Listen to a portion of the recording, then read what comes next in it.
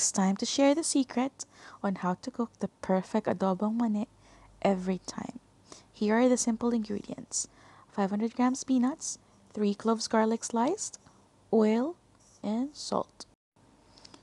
So what's the secret? Just put the ingredients all together in the pan even if the oil is not yet hot. So at this point, I'm filling up the pan. Don't wait for it to heat up. Just put the garlic and put the peanuts right after. The second secret in this recipe is your garlic. Why? Because the garlic will serve as your indicator if the peanuts are ready. So, once you put everything together, you cook it on high fire for about a minute a minute or two, just you know, to bring up the temperature of the oil to a hot and then you cook it for 10 minutes into a medium heat for about 10 minutes. So stir it from time to time because otherwise you will burn the peanut.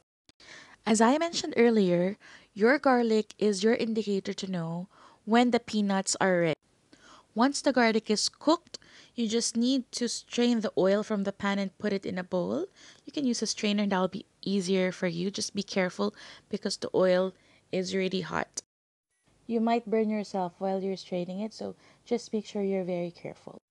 Now, when you see that the garlic is already brown, it means that the peanuts are ready to be strained. So just take it off the pan and strain the oil, and it will be ready.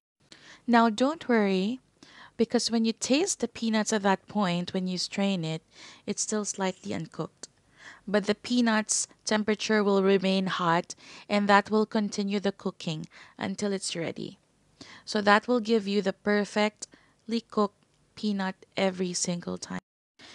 If you follow the secrets I shared with you on cooking the perfect adobong mani, you will have a perfect adobong mani every single time.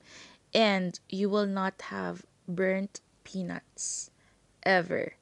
Because again the the mistake of most people is you know they they fry the garlic they remove it they put the peanuts and they don't know when it's cooked.